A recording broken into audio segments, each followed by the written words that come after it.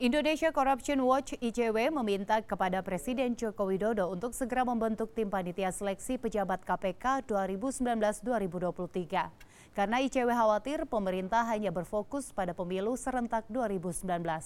Divisi Hukum dan Monitoring Peradilan ICW Kurnia Ramadana mengatakan masa jabatan kepemimpinan pimpinan KPK periode 2015-2019 akan segera berakhir pada Desember 2019.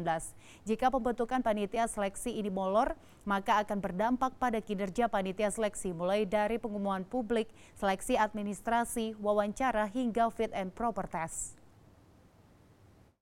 Dan rentang waktu bulan Mei ini atau bulan Juni dirasa menjadi waktu yang pantas bagi Presiden Jokowi untuk memfokuskan diri dan berpindah sedikit dari fokus dari elektoral dan perpindahan ibu kota menjadi fokus melihat uh,